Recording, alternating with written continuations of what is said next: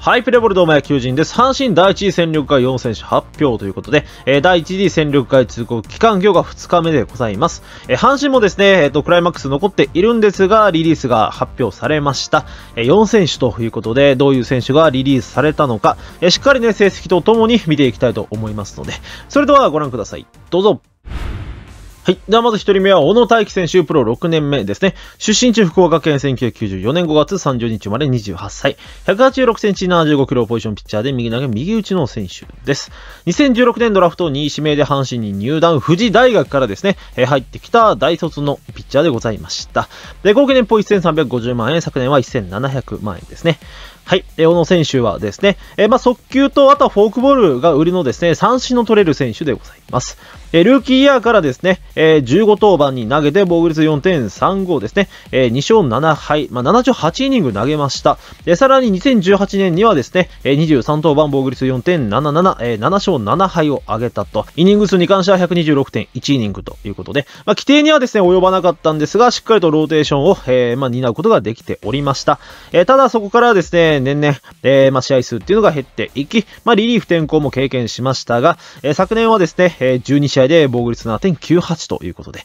なかなか結果が残せなくなっていたのが、えー、この小野選手と、そして今季に関してはですね、5登板で5イニング、0勝0敗防御率1.80、奪三振率12.60、吉球率5.40、KBB2.33 ということで、まあ、1軍ではですね、5試合投げてはいるんですけれども、この5試合っていうのが、最後に投げたのが4月3日の巨人戦以来ですね、1軍に上がっていないということでございます。そのですね、理由っていうのが2軍成績にありまして、28登板で28.2イニング、1勝1敗防御率6.91、奪三振率9.42、吉球率9.73、KBB0.97 という成績が出ているんですね。まあ、防御率はですね、当然良くないんですけれども、注目してほしいのは吉球率ですよね。えー、9.73ということで、イニング数以上のですね、ファーボールっていうのを出してしまっているということなんですね。なので、えー、まあ、1試合9イニング投げ抜いたらですね、ファーボール大体9から10個出てしまう計算になってしまうので、うー、なかなか、えー、この請求だと難しいのかなっていうふうには思いますし、えー、まあ、ここに来てね、こう、請求なんていうのが、まあ、ぐんとですね、えー、まあ、露呈してしまったシーズンなのかなっていうふうには感じましたね。はい。で、小野選手に関してはトライアウトを受けるということになっております。まあ、球の威力はある選手なので、環境を変えればっていうところにもなってくるんですけど、まあ、今のですね、小野選手の状態であれば、なかなか厳しいものもあるのかなっていうふうに思いますので、まあ、トライアウトに向けてですね、そこをどう調整できるのかっていうところは、えー、あるのかなっていうふうには感じますが。はい。では続いて見ていきましょう。はい、続いて2人目はですね、森谷幸喜選手、プロ8年目。出身地は岡山県1993年11月25日生まれ28歳。184センチ87キロポジションピッチャーで右投げ右打ちの選手です。2014年ドラフト4位指名で阪神に入団ですね。えー、本田鈴鹿からですね、阪神に入ってきました。まあ、高卒社会人の選手ですね。えー、今季年俸は1500万円ということでございます。はい。森谷選手はですね、2019年ですね、57登板防御率3.00ですね、ホールドも7ホールド上げておりまして、まあ、ここからですね、リリーバーとして定着していくのかなと思われていたんですけれども、えー、まあ、20年、21年はですね、えー、3登板、2登板となかなかね、こう、えー、登板数っていうのが増やすことができませんでした。まあ、あと森谷選手に関してはね、ちょっと奥様との問題っていうのが、こう、大きく取り上げられたこともありましたので、もしかしたら、えー、そういうプライベートなこともですね、え、活躍できない要因にはあったのかももしれませんけれども。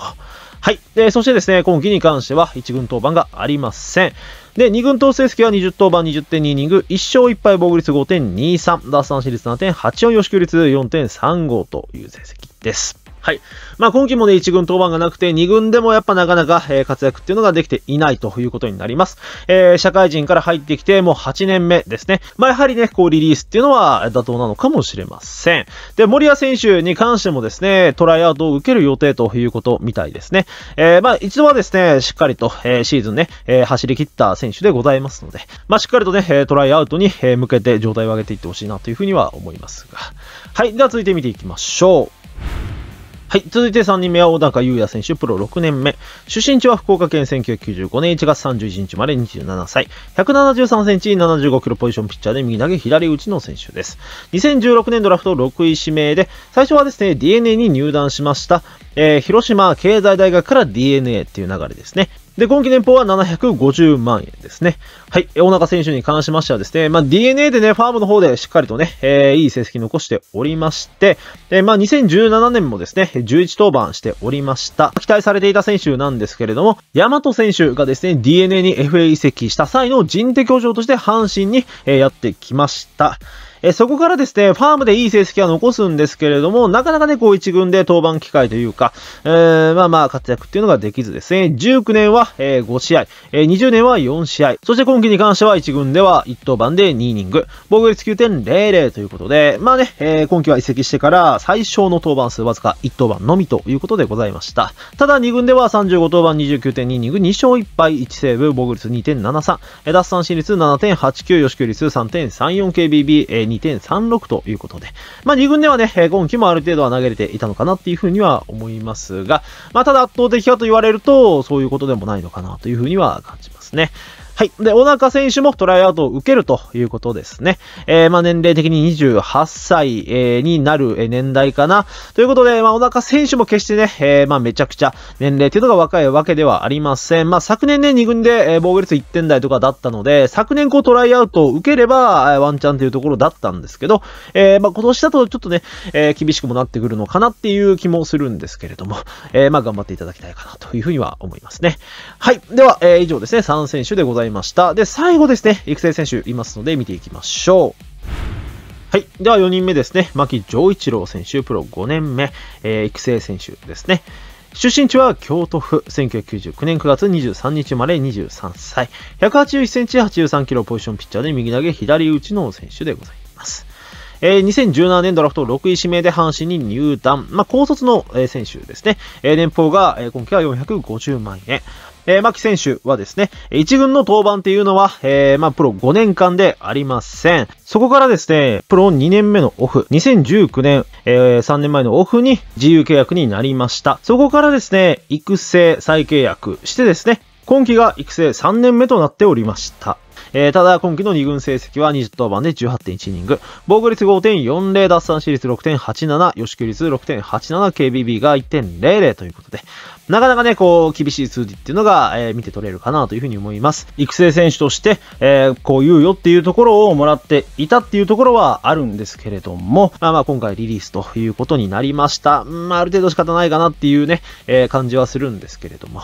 はい。で、牧選手に関しては、まあ、挙手は未定ということですね。他のね、3選手に関してはトライアウトを受けるということだったんですけど、まあ、特に、えー、コメントではそのことに触れられておりませんでしたので、まあ、受けないのかなというところですかね。もしかしたら、こう、引退、の可能性もあるのかなっていうふうには、思いますので、まあ、ここからどうなるんでしょうかと。まあね、えー、どう決断するかに注目かなというふうには思いますね。はい。というわけで、えー、今日は以上です。最後ですね、まとめて終わりましょう。はい。ではまとめていきます。今日見ていったのはですね、えー、戦力外選手、えー、支配下が3選手、小野選手、森谷選手、小中選手の、えー、3投手ですね。で、育成が、えー、1投手、えー、牧選手ということで、計4選手がですね、今回、えー、戦力外、えー、通告受けたということになっております。で、まあ、今回ね、えー、まあ、試合か3選手育成も含めですね、4選手いるんですけど、えー、全てピッチャーということでございました。まあ、阪神はまだクライマックス残っておりますので、もう絶対にね、投げないピッチャーっていうのをリリースしたっていう感じにはなるのかな。まあ、それプラスイニングイーターでもないというところをね、切ってきたのかなというふうに思います。まあ、ここからね、CS 終わってドラフトを経て、第二次戦力外で、またね、野手とかが本格的に切られるのかなっていうふうには思うんですけれども、まあ、でもピッチャーもね、こう育成落ちとかまだまだ控えておりますので、高橋選手かもおそらく育成落ちしますし、まだ切られる選手もいるのかなっていうふうには感じますので、まあまあピッチャーもですね、えー、まあ油断はできないのかなっていうふうな、えー、気はするんですけれども、まあでもやっぱね、第2次では野手が中心にはなってくるのかな。えー、まあ外野、内野ですね、それぞれドラフトで、まあどれだけね、取ったかによって、そこも変わってきそうな感じはするので、えー、まあどこをですね、どういうふうに補強していくのかっていうところがね、注目かなというふうに思います。まああとは助っ人の去就もね、えー、まあロドリゲスが、えー、リリースされるっていうことなんですけど、まあ他の選手はまだ決まっていないみたいなので、まあそこのところも気になるところではありますが。では今日は以上ですね。えー、よければですね、えー、コメントの方、えー、いただければ嬉しいです。野球人でございました。せーの、ゲームセット。ありがとうございました。